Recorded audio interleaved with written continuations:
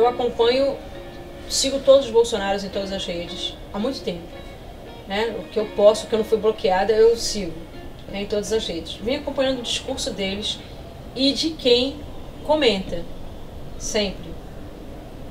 Me infiltrei em alguns grupos do WhatsApp, certo? Para ver, entender a linguagem. E uma coisa para mim ficou assustadoramente clara. O quanto que o discurso homofóbico ele é poderoso. Então, o quanto que a homofobia ela está presente. Não estou falando que essa seja uma única causa, mas acho que é uma causa que a gente tem que olhar com muito carinho, mesmo porque o Brasil é o país que mais mata né, LGBTs no mundo. Todo dia é uma notícia sobre isso, né? É... Olha só, o, o poder. Quando o Bolsonaro ele, ele vende a ideia, se eu for eleito, o seu filho não será gay, eu te protegerei, eu protegerei a sua família disso. Isso fala falado de várias formas diferentes. Eu acho que isso teve um poder porque o Brasil é um país homofóbico, isso teve um poder muito grande que não pode ser desprezado. Aí ele vai formando, né? Vai, aí tem a psicóloga que mostra que de repente você promove a cura gay, aí tem o kit gay que faz, olha só quanta coisa envolvendo. Aí tem, o, tem a cura gay, tem o kit gay, o kit gay é aquele kit que, que, que se o Bolsonaro, olha como é que ele vende. Se eu não chegar, o kit gay vai ser adotado nas escolas. Se o kit gay vai ser adotado nas escolas, o seu filho será gay. Então, quando eu chego, eu proíbo o kit gay. A linguagem é tão simples, é, é, é assustadoramente simples, as pessoas querem nisso. E seu filho não mais vai ser gay porque eu vou defender a família tradicional brasileira. Aí vem, né, a mamadeira de piroca que o pessoal fala, junto com kit gay e outras coisas mais, né, e, e outras fake news, né, criadas em cima disso. É, cara, isso para mim foi foi muito, muito, muito triste você observar isso. Então, é uma coisa que a gente tem que, é, tem que olhar com, com carinho, né? porque tudo começou exatamente com o um projeto Brasil Sem Homofobia, que se transformou nisso, que se reverteu nisso. Né? Então, a gente tem que retornar, de uma forma ou de outra, algum projeto né? para a gente livrar né, o, o país, as pessoas desse, desse medo, desse preconceito, preconceito puro. Você vê que tem uma questão de sexualidade aí mal resolvida. Eu acho que para reverter isso, eu acho que a gente precisa, primeiro, dominar uma coisa que a gente não domina, que eles dão aula, sinto muito, né? Vamos fazer a famosa autocrítica, que são as redes sociais. Eles dominaram uma, uma rede, dominaram uma mídia que a esquerda não dominou.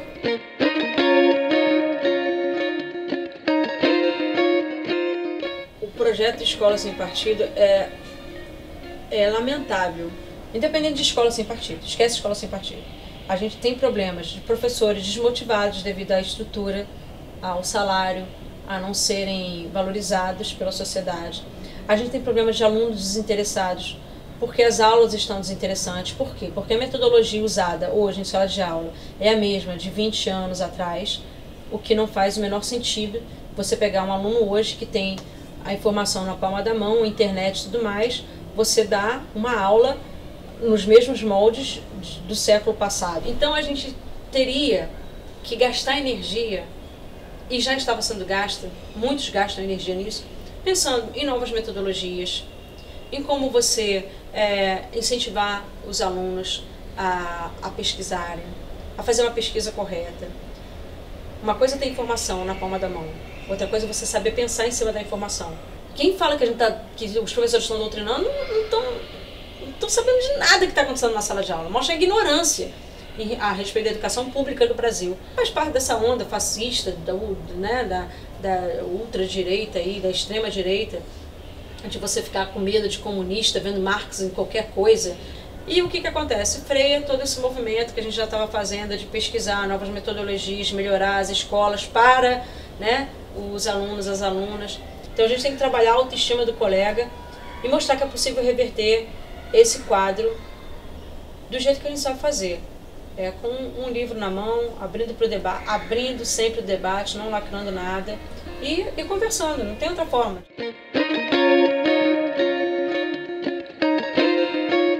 Eu escrevo e eu tento publicar com várias editoras. E aí eu tive.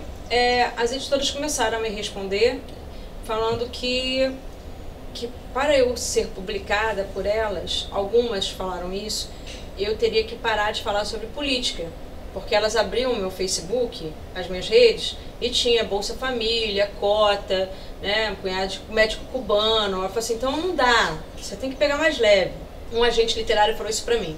Foi a primeira vez que eu tinha um agente literário, me achei super chique. Eu falei assim, caraca, eu com agente literário. Isso foi em 2016, tem tudo pouco tempo. E aí, quando mal eu, eu, eu fecho com um agente literário, ele fica uns três meses me estudando, depois ele volta para conversar comigo e volta com essa notícia, eu fiquei muito mal, eu fiquei muito triste. E eu só escrevo quando eu tô emocionada, ou muito alegre, ou muito triste, ou com raiva. Isso é um, bom momento para você sentar e escrever alguma coisa, porque a coisa vai sair emocionada. E dependendo de como seja o texto, acaba emocionando pessoas também. E aí eu lembro que a casa do agente literário era numa cobertura em Ipanema, e eu peguei meu carro de Madureira até Ipanema para ouvir isso, que eu tinha que parar de falar sobre política para que fosse publicado. E eu lembro muito direitinho, porque estava chovendo, já estava escuro, e eu sentei no meio-fio, o carro estava na minha frente, mó chuva, e eu não estava com força ainda de pegar no volante, então sentei no meu fio e eu chorava sem parar. E eu voltei, entrei no carro, rebolsas, até chegar a Madureira, e vim chorando e dormi. E quando acordei, eu resolvi escrever, movida pela força do ódio. Mas não esse ódio que quer matar as pessoas, um, um, ódio de tudo, do sistema, do fato de ser assim, de ser tão difícil você trabalhar literatura num país como o nosso. E eu ter que me, me como é que fala, me mutilar para poder ser publicada. E eu escrevi um texto, porque quando eu estava lá com, com essa gente, eu perguntei assim para ele, mas sobre o que, que eu posso escrever então, se eu não posso falar sobre política? Ele falou assim, olha, você é uma professora, fala sobre educação, por exemplo. Fala, você é mãe, fala sobre o seu lado com seus filhos, né? Você é dona de casa, fala de você como dona de casa. Então fala sobre essas coisas, não precisa falar sobre política. Aí eu acordei e escrevi. Eu falei assim, olha gente, contei essa história exatamente, que eu estava com a gente literário e que ele me orientou a não falar sobre política na internet. Eu falei assim, eu não vou mais falar sobre política, ele falou para eu falar sobre eh, educação. Então eu vou começar esse texto agora, que agora eu sou uma nova pessoa, eu vou começar falando sobre educação. Então, eu sou professora do Cefet, sou professora já há alguns anos. Quando eu cheguei no Cefet, já estava no governo do PT, e eu vi muitas coisas acontecendo, né? o Cefet crescendo muito, é, no governo do PT, os professores ganhando plano de carreira, os laboratórios sendo modernizados. Eu pude fazer meu doutorado, graças ao governo do PT, que me deu um plano de capacitação e tudo mais. Eu vi a política das cotas ser implementadas é, no, no, no Cefet, graças ao PT, graças ao que o Lula fez e tudo mais. E eu comecei a falar, obviamente, da quantidade de institutos federais, universidades, o quanto que é, isso é importante para a educação, o quanto que o Lula foi importante né, para a gente. Aí eu falei assim, tá, mas não vou falar sobre educação não, vamos falar sobre filhos. Era 2016, ok? Aí eu falei assim, então, o meu filho mais velho, ele se formou agora, está desempregado, não porque ele é músico, porque ele está com os amigos psicólogos, engenheiros, todo mundo desempregado. Também se ele tivesse empregado, eu não sei quando ele seria, é, iria se aposentar, dado essa reforma da Previdência que está acontecendo, o governo teme, então, né, um de coisa. E foi um texto assim muito, muito irônico, e eu terminei o texto falando. Eu falei assim, mas também falaram para falar sobre eu como dona de casa. Então, a Lucimar trabalha comigo há 20 anos e a Lucimar, quando ela entrou para mim, ela não tinha o trabalho dela é, oficializado. E foi no governo do PT. Né, que a gente conseguiu. Hoje ela tem, ela e as amigas dela estão felizes, estão com carteira assinada, estão com os direitos trabalhistas todos garantidos, a profissão dela é reconhecida e tudo mais. Mas é isso mesmo, é isso, galera. Não vou falar mais sobre política, vou falar sobre educação, vou falar sobre filhos sempre e vida que segue, por aí. Então o texto foi um texto assim, muito irônico. E, e, vale observar que eu escrevi o texto, estava muito emocionada, estava chorando muito ainda. Eu tinha dormido, mas eu acordei, comecei a chorar, porque eu sabia que a partir do momento que eu publicasse esse texto, eu não ia ser publicada por editora nenhuma, dado que a gente literária havia me falado. E esse texto viralizou. E caiu na mão de uma pessoa muito especial, de uma pessoa muito sensível, de uma pessoa que tirou o Brasil do mapa da fome. Né? E o Lula, ele, ele leu esse texto. Amigos, primos, parentes leram o meu texto. Mas foi o Lula que pegou e, e me ligou. Que eu quase morri quando ele me ligou, era quarta-feira de cinzas, 2017. Né? E eu fiquei, bom, obviamente, eu recebi um telefonema do Lula, eu, eu e Madureira, mera escritora, suburbana, professora, mãe de três filhos, mãe solteira. Eu, como assim o Lula tá me ligando? Ele falou assim, companheira, eu tô te ligando porque eu percebi que você está precisando de um abraço. Quando eu li, eu quero que você se sinta abraçada nesse momento. Você não está sozinha. Eu percebi, companheira, que você está sendo censurada de alguma maneira e você está resistindo a isso. Então eu estou te ligando, fiz questão de te ligar porque eu reconheci uma força muito, muito grande. Eu preciso te parabenizar por isso. Então, sabe, isso.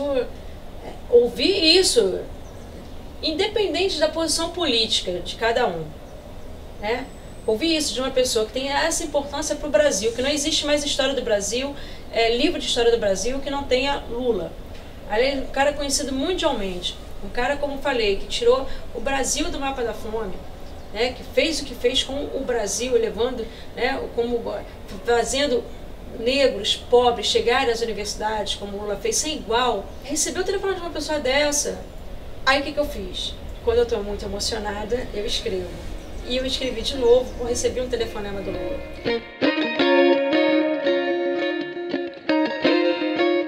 Partido dos Trabalhadores e das Trabalhadoras, eu acho que é um partido que, óbvio, como nenhuma instituição é perfeita, ainda mais instituição formada como qualquer outra formada por pessoas, né? Existem várias coisas que a gente precisa melhorar ali dentro, mas uma coisa eu acho que o PT tem de imbatível, que é essa militância de base, essa atenção, né? Eu acho que a gente, a gente, eu já estou me incluindo porque eu me filiei agora, né? Mas pelo fato de ter vivido tanta coisa, a galera é, é, é muito atenta. Então a galera do PT já estava me procurando, já estava me sondando para eu ir a algumas plenárias, para eu conhecer alguma coisa, independente de Lula. A partir do momento que o Lula me liga, essa militância fica mais atenta e começa a me convidar para mais coisas. E políticos também começam a me convidar para conhecer gabinetes, para interagir mais, entender como é que funciona.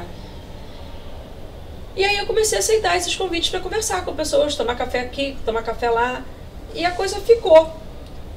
Até que é, eu faço parte também de um, de um núcleo político dentro do Cefet, que a gente fez esse grupo, o núcleo Darcy Ribeiro, para que para a gente começar a debater, chamar políticos ali para dentro do Cefet para fazer um espaço ali de debate, de discussão, para entender a conjuntura. Que a partir de 2013 a coisa começou a ficar muito complicada. 2016, impeachment e tudo mais. Cara, a gente precisa mais pessoas para a gente entender o que está acontecendo. Então a gente fez esse grupo para debater política ali dentro. E esse grupo falou para mim, que eu acho que você está pronta para se candidatar para alguma coisa. Então esse grupo colocou essa sementinha na minha cabeça. Aí começa a tomar café com deputado, com vereador e tudo mais. E né, eu tive com Lula pessoalmente no Instituto Lula. Lula, inicialmente, quando eu cheguei lá para conversar com ele, eu falei que eu queria me filiar ao PT. Fui lá para falar isso para ele. Aí eu tô crente, pô, Lula me ligou, né? Aí eh, já tem uma militância do PT lá me procurando, tudo mais. Então, pô, se eu for estar tá lá com o Lula, eu vou falar assim, Lula, eu quero me filiar ao PT, o que, que o Lula vai fazer? Poxa, vem, que não sei o quê. Expectativa? Qual foi a realidade? Eu chego lá para falar com ele, Lula, então, é, sou eu, a professora que você ligou, né? então, eu quero filiar ao PT. Aí ele assim, pra que isso, companheiro? Pra que, que você vai fazer isso contigo? Você é essa fofura, você é essa doçura, seus filhos e tudo mais. Você vai se filiar ao PT, você viu o que aconteceu com a Marisa. Isso aqui, companheira, isso aqui a gente leva pedrada. Isso aqui é guerra o tempo todo, a gente se machuca e machuca de verdade. Você vai entrar nessa, você vai se machucar. Eu tenho medo de você não ter estrutura para isso, de aguentar. O que, que é você vincular a sua imagem à minha? Eu levei um susto. Fiquei lembrando de toda a minha viagem empolgada, de, de todas as notícias de jornal, reforma do ensino médio, projeto Escola Sem Partido, lembrando do impeachment, lembrando de várias coisas. Aí eu falei assim: olha só, presidente, eu achava que eu tinha vindo aqui para te pedir conselho, mas diante disso que está me falando e diante tudo que eu estou sentindo, eu descobri que eu não estou aqui para pedir conselho. Eu vim aqui para pedir tua bênção. E vai ser com ela ou sem ela. Porque você está falando que eu vou me machucar, eu vou me aborrecer me filiando ao PT. Mas o que me irrita muito mais é todo dia eu abrir o jornal e ler uma notícia de, da educação pública ser sucateada, por exemplo. Isso para mim me mata. E agora, porque você me ligou, as pessoas me convenceram que eu posso fazer algo efetivamente, além de ficar reclamando e escrevendo em rede social. Agora vai me machucar mais é, eu saber que eu posso fazer e não fazer nada. Os olhos do Lula brilharam. Aí ele se levantou, abraçou. Ele falou assim, companheira, primeiro eu olho para a pessoa. Né? Eu, eu, sou assim, eu fico preocupado com o que pode acontecer. Eu, eu fico preocupada de fato contigo. Mas é claro que uma pessoa como você, que tem a confiança que você tem, uma mulher, uma mãe, professora, se filiar ao PT nesse momento que o PT está apanhando tanto, isso significa muito para mim e para nós.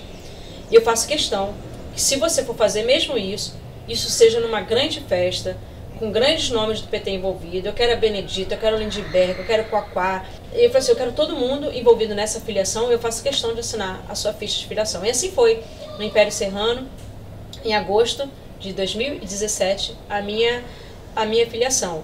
Ou seja, essa ideia eu nunca tive, não veio de mim. As pessoas me convenceram que isso poderia acontecer e que isso seria interessante na minha vida.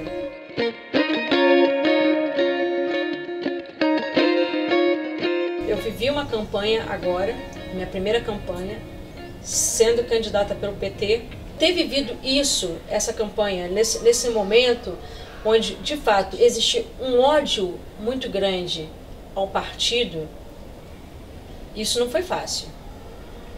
Isso não foi fácil. E outra coisa, ódio ao PT, o que, que justifica né, ódio a um partido? Primeiro que o, o, né, o PT não é uma pessoa, o PT é um partido né, feito de pessoas. Ódio a um partido que quando esteve no governo conseguiu diminuir a desigualdade social no nosso país. Eu sabia que ia ser difícil, o Lula tinha me avisado que ia ser difícil, mas de fato foi muito difícil.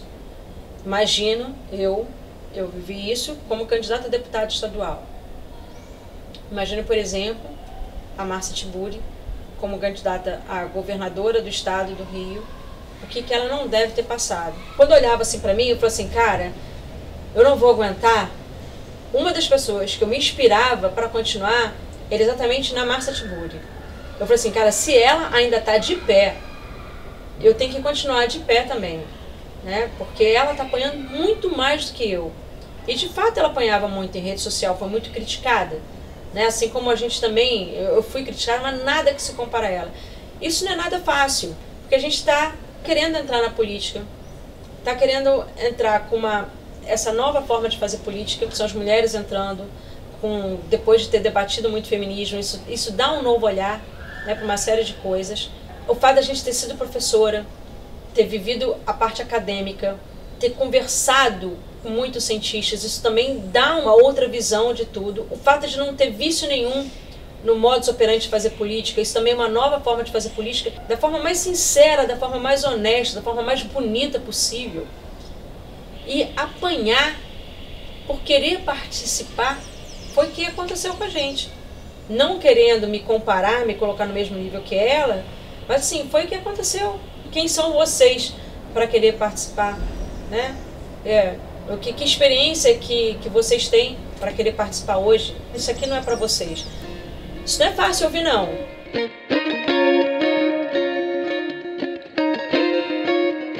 Eu vou confessar, quando eu me filiei e a campanha começou, eu fiquei com muito medo.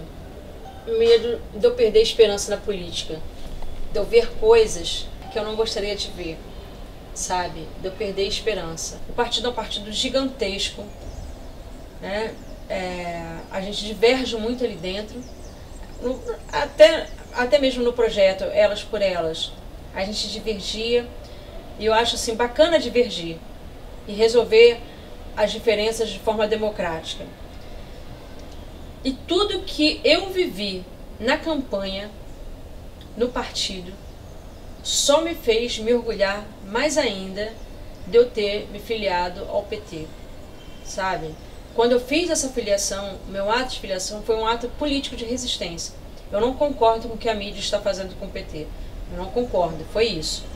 Cara, eu estava vendo as escolas públicas, eu visitei várias universidades criadas no governo do PT, eu vi os institutos federais sendo criados, o quanto que nós professores, né, nós crescemos ali com o governo do PT, vi a desigualdade social diminuindo, vi o Brasil saindo do mapa da fome, vi as escolas, o Cefet, os institutos federais, as universidades, eu vi a política das cotas, colocando negros ali dentro, negros e negras chegando sem estar com uma vassoura na mão, estando sentados, assistindo aula.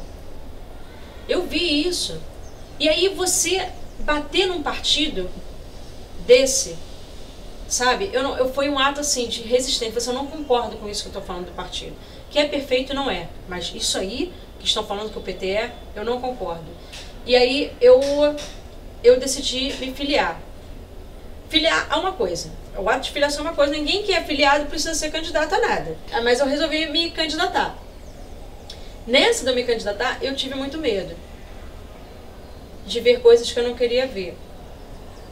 Posso te dizer, até agora, com quem eu estive, e como eu tô falando, o PT tem uma coisa que é uma tal de militância de base, a galera que está na rua, a galera que está conversando eu só, eu só senti orgulho, eu só cresci como ser humano.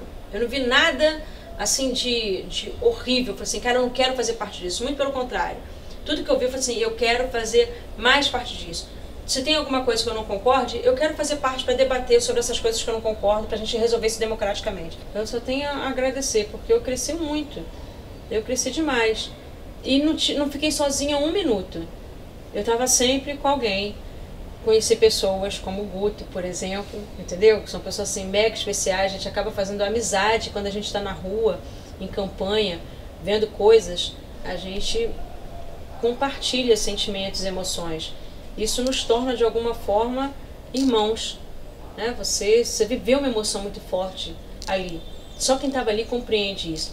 Então hoje quando eu olho nos olhos do Guto, por exemplo, é, eu vejo que né? A gente se viu ali chorando um tempo, né? num, num, num momento ali, cansado, né? cansado, apanhando da mídia, apanhando de tudo. Então acho que a gente entende o que a gente passou.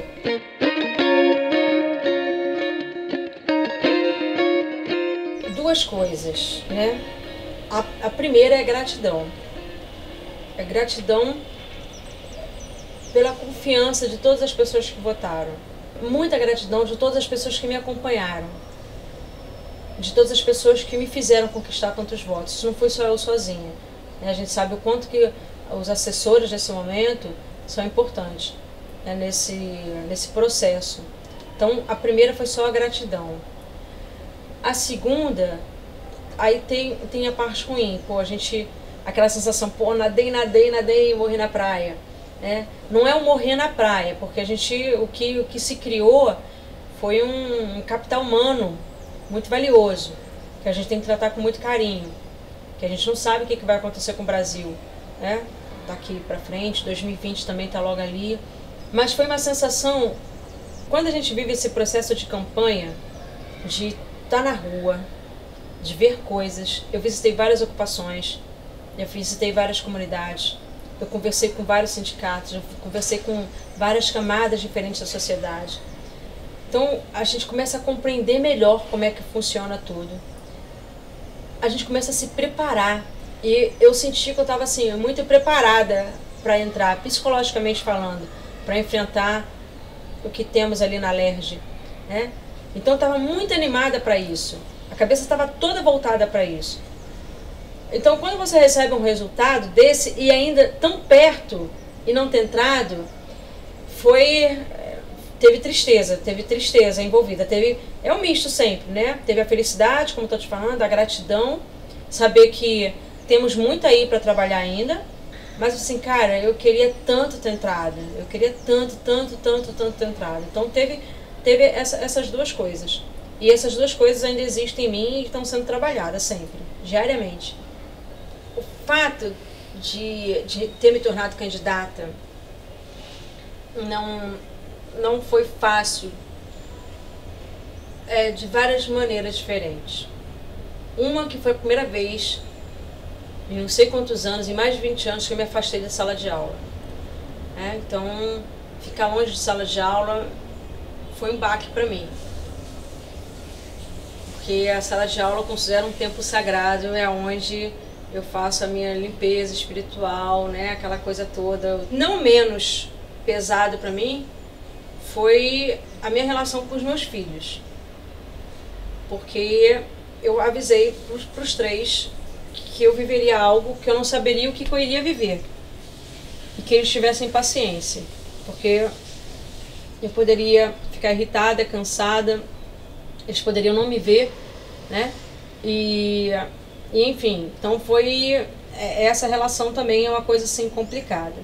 Isso nas relações. Eu comigo mesma, o mais difícil para mim foi eu ter é, trabalhado, é, eu ter que superar a minha baixa autoestima ou aprender a falar de uma forma política. Porque uma coisa é você dar uma palestra, uma coisa é você dar aula, uma coisa é você conversar com o filho. Uma coisa é você estar tá na terapia. Outra coisa é você estar tá com o microfone, com um bando de gente te olhando, com os olhos brilhando, esperando que você fale alguma coisa que encoraje ou que dê esperança, alguma coisa assim. E eu não sabia se eu estava preparada para isso. Eu tinha muito medo. Estar ao lado da Benedita, por exemplo, a Benedita para mim é figura é, porra, a Benedita, gente entende? Benedita da Silva, né? Porra, essa mulher negra lindíssima, super empoderada, que fez também, fez parte da história do Brasil, faz parte. Pô, uma mulher inteligentíssima, que tem o dom da palavra.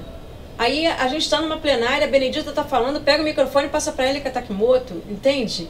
Eu falei assim, o que, que eu vou falar depois da Benedita ter falado? E enquanto eu tô babando nela, tem que lidar com essa emoção de estar ao lado de uma pessoa que você admira muito e tem que falar ainda. É, cara, isso para mim foi muito difícil.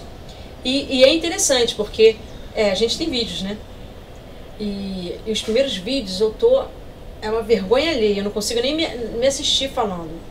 Sabe? O quanto que eu tô insegura, o quanto que eu tô gaguejando, não tô conectando as frases de nervoso mesmo, de emocionado. Nos últimos, eu já eu já compreendi alguma coisa. É claro que não vou falar que eu estou igual Benedita, mas eu já havia compreendido alguma coisa. Eu entendi o que é falar politicamente, falar né, para as pessoas, ou falar num vídeo. Outra coisa foi eu ter visitado algumas comunidades, ocupações e ter conversado com pessoas carentes. Isso me modificou para sempre. Porque uma coisa é você escrever sobre pobreza, sobre pobreza, é você ler, é você ver televisão, é você. Só uma coisa. Outra coisa é você estar lá, você ouvir as pessoas, você olhar nos olhos das pessoas, pessoas que não têm onde morar, pessoas que estão ocupando algum lugar. Eu visitei uma ocupação na Pavuna e, e me emocionou muito Aí eu vejo quanto que essas pessoas falam mal de ocupação, que uh, uh, tem que ser preso todo mundo. Vai lá, visita uma ocupação, ouve o que, que essas pessoas estão falando. O nível de humanidade que eles têm. Não tem nenhum cachorro ali, sabe? Não tem nenhum bicho, não que devesse tratar cachorro e bicho de forma, uma forma ruim, mas são seres humanos que estão raciocinando, que estão vivendo, que não tiveram oportunidade, que não têm onde morar, sabe? Famílias todas, famílias, famílias nos moldes tradicionais, inclusive como essas pessoas gostam, né? Famílias que vão à igreja, pai, mãe, filho, tá ali e não tem onde morar. Outra coisa que me emocionou, mas me emocionou demais, foi ter conversado com mães de crianças deficientes. Isso para mim foi muito, foi um baque muito forte. Porque quando a gente fala assim, ah, ser pobre é ruim, ok. Não ter onde dormir é ruim, ok. Não ter onde dormir com bebê é ruim, ok. Não ter onde dormir com bebê deficiente, isso é a cruz mais pesada que eu vi uma pessoa carregando. E ver essas mulheres chorando, falando quanto que elas precisavam, quanto que elas estão abandonadas pelas políticas públicas que nós temos, quanto que elas estão sem esperança. Olha, não tem como você ver isso e, e, e não se, se transformar. E não lutar mais ainda né, por essas pessoas. Essas mulheres mexeram assim muito comigo. Ao final né, da, da campanha, a gente ganha, eu acho que mais do que, do que experiência. Foi tão grandioso esses lugares que eu visitei, esses contatos que eu fiz, acho que me tornei mais sensível e valorizei mais ainda tudo o que o PT fez e lamentando mais ainda que eu vejo que tudo, todas as medidas que estão sendo tomadas é, nesse novo governo não são para atender essas pessoas que eu olhei no olho. Isso é triste. Mas dá força para a gente continuar, né?